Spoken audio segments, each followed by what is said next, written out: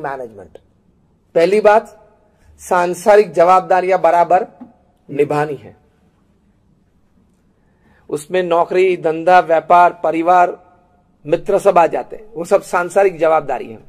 दूसरी बात, कोई छोटी मोटी संस्था में या छोटे मोटे कारण में निस्वार्थ भाव से समाज सेवा करनी है और कुछ समाज को निस्वार्थ भाव से प्रदान करना है।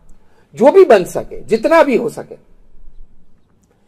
और तीसरी बात यह है कि हमारा जीवन इतना पवित्र हो, शास्त्र के आज्ञा अनुसार हो मतलब हमारा चारित्र का ऐसा निर्माण हो, कि हमारे आसपास के दो पाँच पच्चीस लोग ऐसे हैं, जिनको हम प्रेरणा रूप बन सके, ताकि भविष्य की पीढ़ी में भी ये संस्कार आगे चलते रहे। स्वामी विवेकानंद एक बात करते थे, the greatest, the highest and the noblest contribution that a man can make for the society is a pure and spotless character.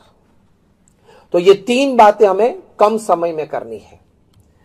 पहली बात आती है हमारी सांसारिक जवाबदारियाँ निभाने में। उसमें वर्क एफिशिएंसी और टाइम मैनेजमेंट है।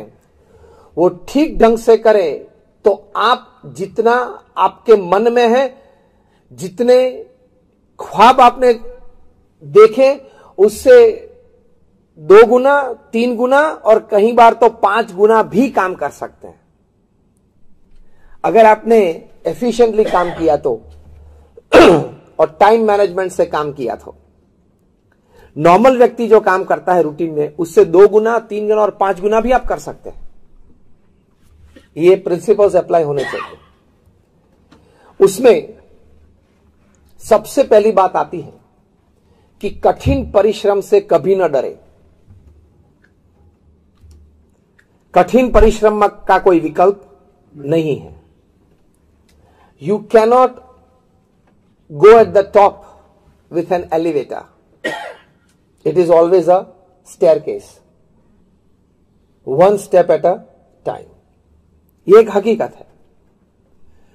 तो पुरुषार्थ करना इस सृष्टि का एक नियम है। पशु पंखी है, वे भी पुरुषार्थ करते हैं। तो भगवान ने और कुदरत ने ये जो निर्माण किया है, उसमें पुरुषार्थ सभी के लिए अपने अपने क्षेत्र में रखा है। हम मनुष्य तो हमारे पास खाने पीने की व्यवस्था तो पूरे साल की है। तो हम खाने पीने के लिए ज़्यादा दौड़ते नहीं तो हम पैसे ज़्यादा बनाने के लिए या स्टेटस ज़्यादा बनाने के लिए, प्रसिद्धि ज़्यादा के लिए दौड़ते हैं। पशु पंखी है, वे सुबह उठ के